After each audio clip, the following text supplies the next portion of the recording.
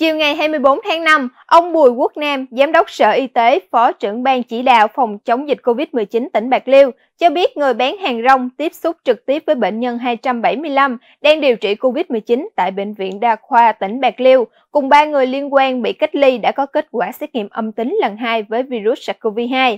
Cùng ngày, theo Ban chỉ đạo phòng chống dịch COVID-19 cho biết, địa phương vừa phát hiện ba người từ Campuchia về không khai báo y tế, không cách ly tập trung theo quy định. Qua xác minh khoảng 2 giờ ngày 22 tháng 5, bà Dê, 48 tuổi ở góc cây gừa, xã Vĩnh Hậu A, huyện Hòa Bình, từ Campuchia qua cửa khẩu Long Bình, An Giang, đi xe khách từ An Giang về thành phố Cần Thơ, không rõ số hiệu. Khi đến Cần Thơ, bà dê tiếp tục đón xe 15 chỗ về Bạc Liêu, không rõ số hiệu. Trên xe có hơn 10 người. Khoảng 7 giờ cùng ngày, bà dê về đến thành phố Bạc Liêu và được em trai là Ca chở về bằng xe máy. Đại diện Trung tâm Y tế huyện Hòa Bình đã đến nhà bà Giờ xác minh và khai báo y tế. Qua kiểm tra y tế, tình hình sức khỏe của bà Giờ đang trong tình trạng có ho và nặng ngực, thân nhiệt 36,9 độ C, có bệnh mãn tính kèm theo tăng huyết áp, tim mạch, gan. Khoảng 14 giờ ngày 22 tháng 5, người nhà đưa bà Giờ đến Bệnh viện Đa khoa tỉnh Bạc Liêu khám tại hướng dẫn.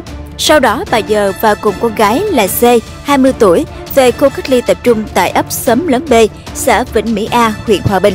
Đến khoảng 10 giờ 30 phút ngày 23 tháng 5, Trung tâm Y tế huyện Hòa Bình tiếp tục nhận được tin báo của công an phát hiện có hai người từ Campuchia về nhà ở gấp 13, xã Vĩnh Hậu, huyện Hòa Bình.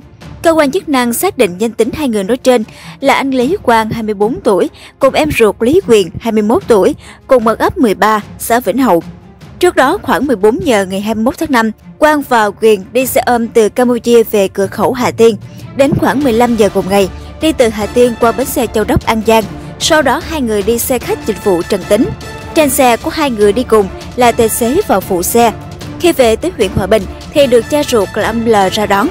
Khoảng 3 giờ 40 phút ngày 22 tháng 5, Quang và Quyền về đến nhà. Qua kiểm tra tình hình sức khỏe của hai anh em, Quang và Quyền đều tốt, chưa ghi nhận bệnh lý bất thường.